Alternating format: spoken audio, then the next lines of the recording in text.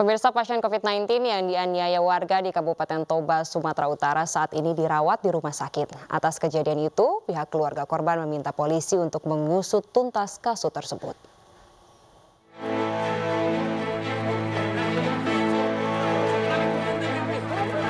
Inilah video amatir yang viral di media sosial saat warga menganiaya seorang pasien positif COVID-19 di Kabupaten Toba Samosir, Sumatera Utara. Penganiayaan ini diduga akibat warga tak terima korban menjalani isolasi mandiri di desa setempat dan menjauhkan korban Salamat Sianipar dari kampungnya di desa Bulusilape, Kabupaten Toba, Samosir. Video ini kemudian mendapat kecaman dari warganet.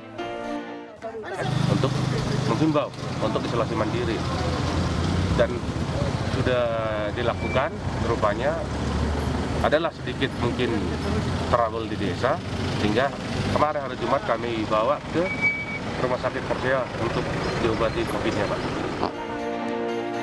Sementara itu menurut keluarga korban, Salamat yang mengalami depresi ini sempat meludahi tangannya dan ingin menyentuh warga agar warga terpapar COVID-19.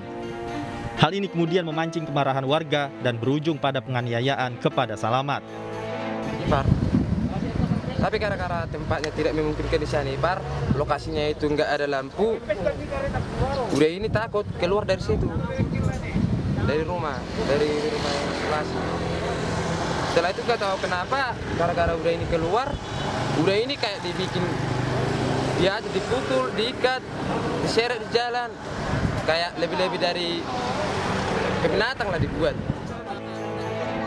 Akibat kejadian itu, Salamat akhirnya dievakuasi ke rumah sakit untuk mendapatkan perawatan lebih lanjut. Keluarga korban yang tak terima atas penganiayaan itu meminta polisi untuk memproses hukum. Dari Kabupaten Toba, Aris Fernando Manalu, iNews melaporkan.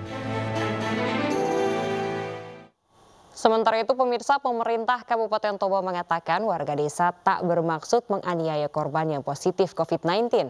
Namun demikian pihak keluarga tetap akan melaporkan penganiayaan tersebut ke polisi.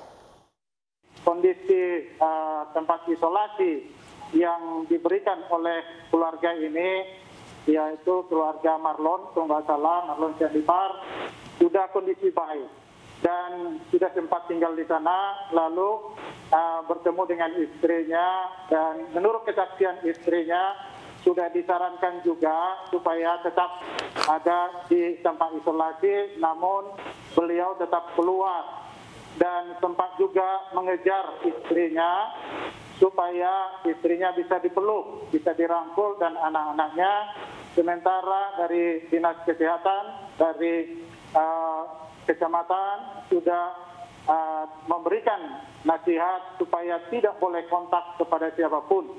Seluruh keluarga besar Selamat Sianipar sangat tidak setuju, sangat tidak tidak terima dengan penganiayaan terhadap saudara kami Selamat Sianipar. Jadi untuk langkah-langkah tersebut kami sudah melaporkan ke pihak yang berwajib.